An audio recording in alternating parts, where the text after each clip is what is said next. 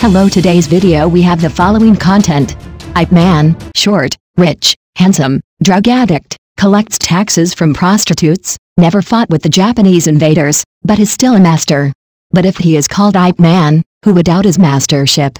When it comes to Foshan, many people think of the Foshan Shadowless kick, but few people know that Wing Chun is the most powerful Chinese Kung Fu in Foshan.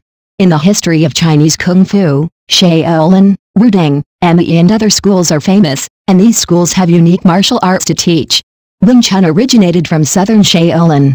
The most widely accepted theory about the origin of Wing Chun is that Wing Chun was founded by Nun Wumi, and its name comes from the name of her apprentice.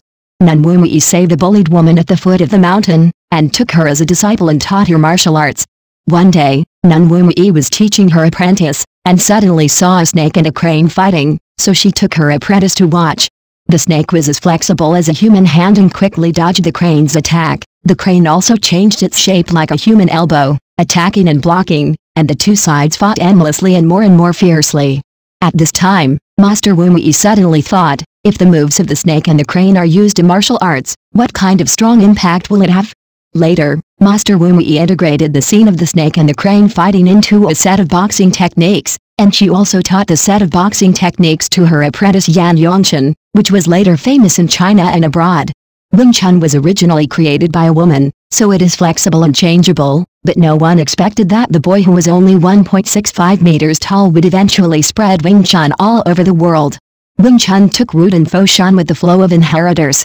In 1900, this boxing technique was passed to Chen Huishan, who also had a nickname called Zhao Tianhua. In this year, he really met a rich man. Chen Huishan was 52 years old this year.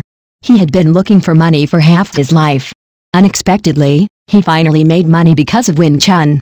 In 1900, a family in Pedali, Chancheng, Foshan was very generous and gave the largest ancestral hall in Pedali to Chen Huishan on the condition that he taught their youngest son Wing Chun. This statement makes sense, and many people think so. But this family let their children learn martial arts not for the purpose of taking the imperial examination, but for, why?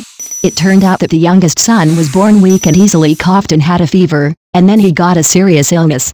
He was seven years old, but he was as tall as a five-year-old child, which made his parents worried. For this reason, this wealthy family in ignored everything and sent him to a martial arts school, hoping that he would be healthy and grow up. When Chen Huishan first saw this child, he didn't think he had any hope, but who would have thought that this child who seemed to be unfavored by God would later rely on himself to pass on the mantle of Wing Chun. The seven-year-old boy first stepped into the world of martial arts. What he saw were cold wooden stakes, his senior brother who kept fighting with them with his hands and elbows, and the master who looked very serious. Come here. Chen Huishan called the boy to him. From today on, you will practice with this senior brother. Don't be lazy. This was the first sentence the master said to him, and the boy just kept it in mind. The senior brother led the boy through rows of wooden stakes taller than him, came to the stone pier, and told the boy, Today, practice horse stance first. The senior brother arranged it this way every day. The boy was tired of hearing the words practice horse stance. I thought he would find it boring and give up, but he persisted day by day. In fact, this arrangement was Chen Huishan's idea. He earned money himself, but he was unwilling to teach children who didn't like martial arts, but he didn't expect that the boy would bite his teeth and pass his test. Later, although Chen Huishan didn't say it, he still cared about this little apprentice. At the end of Chen Huishan's life, this seven-year-old boy became his last disciple. He taught him Wing Chun without reservation, but he died of illness before he retired.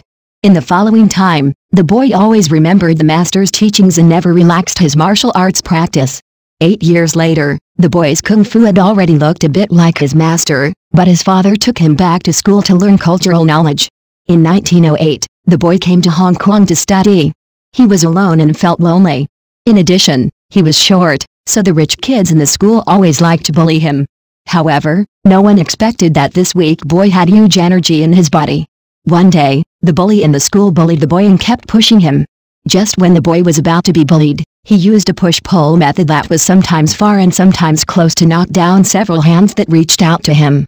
When everyone was dumbfounded, he said, I, Yi Juan, am the successor of Wing Chun. Then he left.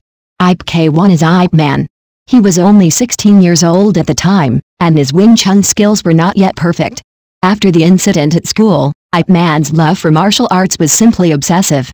Whenever he saw a Chinese with good kung fu, he had to compete with him. But he forgot that there are always people who are better than him. Once, Ip Man went to a store and felt that the boss's walking, raising his hands, and landing postures were all like a martial arts master. He thought that the boss might be a martial arts master hidden among the people. The boss went into the inner room, and Ip Man hurriedly chased him and test him. As a result, every move of his was easily resolved by the opponent. Ip Man felt strange, who is this person? His name is Liang Bi, a fellow apprentice of Qin Huishan, and his father is Liang Zan. Hearing that it was his uncle, Ip Man swept away the haze of failure, happily praised his uncle again and again, and did not forget to serve tea with both hands. After coming to Hong Kong, Ip Man could no longer learn Wing Chun, but this time he met Liang Bi, as if it was destined. After thinking about it, Ip Man immediately worshipped Liang Bi as his teacher and began to seriously learn the essence of Wing Chun. Three years later, Ip Man returned from Liang Bi and became a true Wing Chun successor. Afterwards, he returned to Foshan according to his parents' wishes. Unexpectedly, the job his parents arranged for him was not opening a martial arts school as he had in mind, but collecting taxes in brothels. At that time, collecting taxes from prostitutes had a nice name, called Hua Donation Bureau. Ip Man's main job was to collect taxes. After the prostitutes paid the taxes, they could be open to the public. Ip Man's parents wanted him to have a proper job and marry a wife, so they found him this job and married Zhang Yongchen by the way. Zhang Yongchen was his successor and gave birth to seven children. Although only two sons and one daughter survived in the end, Zhang Yong could be regarded as doing his best for the Yi family. But how could the orders of parents and the words of matchmakers be better than meeting new friends in a foreign land? In 1938, Foshan fell to the Japanese invaders, and the Yi family was also ravaged by the Japanese invaders. The Yi family's century-old foundation was destroyed, and Li Wen wandered for the rest of his life. Yi Wen originally wanted to open a martial arts school with Kung Fu, but the Japanese targeted him and surrounded the small courtyard. Master Yi Wen, I heard that your Chinese Kung Fu is very powerful. We want you to tell our soldiers about it. A Japanese officer begged Yi Wen in stiff Chinese, but everyone could see that the Japanese were not pleased, but forcing. In many film and television dramas, Kung Fu superstars like Huo Yuanjia and Chen Zhen used martial arts to suppress the arrogance of the Japanese, and there were many plots of fighting with Japanese soldiers in the ring, but Yi Wen did not accept it. In his heart, Chinese Kung Fu belongs to China and cannot be taught to the Japanese. Wen also thought that no matter who wins or loses in the ring competition, the Japanese will not let him go, and the best way is to leave their sight. In 1949, with the help of his friends, Ip Man left Foshan and went to Hong Kong, parting with his wife and children. His wife Zhang Yongchen could not have expected that this farewell would become a farewell forever. Hong Kong used to be a very powerful place. After Ip Man arrived in Hong Kong, he met Liang Xiong, the president of the Hong Kong Hotel Association, through a friend's introduction. Liang Xiong not only had money and connections, but also loved martial arts. Liang Xiong soon became Ip Man's apprentice, and Ip Man also relied on him to gain a foothold in Hong Kong. Ip Man kept moving around in places such as Lee Tap Street and Lei Cheng Uk Estate in Kowloon, Hong Kong, opened several martial arts halls, and spread Wing Chun to various places in Hong Kong day and night. During that time, he kept communicating with his family, but a Shanghai woman appeared beside him. This woman's background was unclear, but she was always with Ip Man, and Ip Man later became addicted to opium because of her. Everyone around him advised him not to smoke, but how could opium be so easy to quit? Fortunately, although Ip Man was trapped by opium, his heart was still determined by martial arts. During the time in Hong Kong, Ip Man had been teaching his disciples martial arts. Even those who came with skills, Ip Man did not reject them. The famous kung fu superstar Bruce Lee is a typical example. Bruce Lee had learned Tai Chi before he became Ip Man's disciple. Later, Bruce Lee met a disciple of Ip Man by chance, and the Wing Chun he used amazed Bruce Lee. So the next day, Bruce Lee went to Ip Man's house to become his disciple. After Ip Man knew that he had learned Tai Chi, he did not object, but let him continue to learn. But when Bruce Lee was taught for the first time, he misunderstood what Ip Man meant, thinking that Ip Man was only teaching him basic skills, so he left after only two days of learning. It was not until after Bruce Lee's death that he used the basic skills taught by his master again, and was surprised to find that Wing Chun was so profound. Later, Bruce Lee came back in disgrace and formally became Ip Man's disciple. After that, Bruce Lee never skipped classes. Although he went to the United States for his film career and did not complete his studies, he incorporated the Wing Chun he learned in the United States into his own boxing. When Bruce Lee wrote Kung Fu into the American dictionary, Ip Man was still teaching boxing seriously in Hong Kong. As a result, Bruce Lee came back and wanted Ip Man to teach him all the Wooden Man methods of Wing Chun. However, Bruce Lee came here to finish filming and bring it back to the United States, not to stay. Chinese Kung Fu belongs to China, which is of great significance to Ip Man, so even if Bruce Lee uses a building to exchange it, Ip Man will not waver.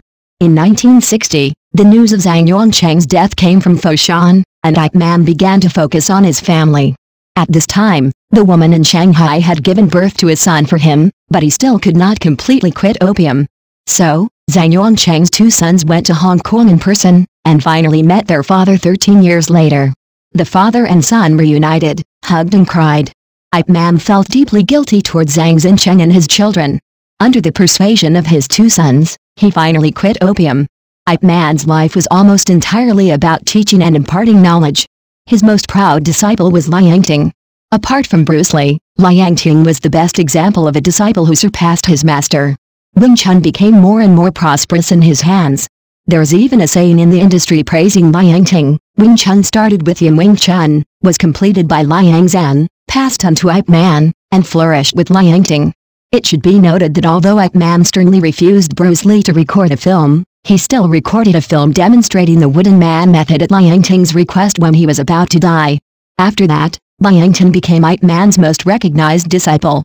He brought the Wing Chun boxing in the movie as a course to the world stage, making Wing Chun boxing widely spread around the world and famous.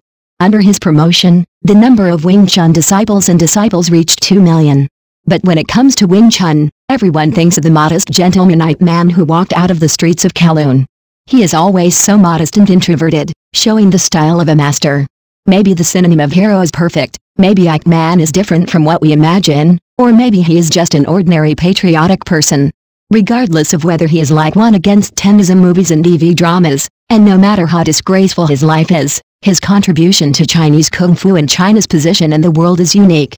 I tried to imagine the scene of the Chinese who was called the sick man of East Asia.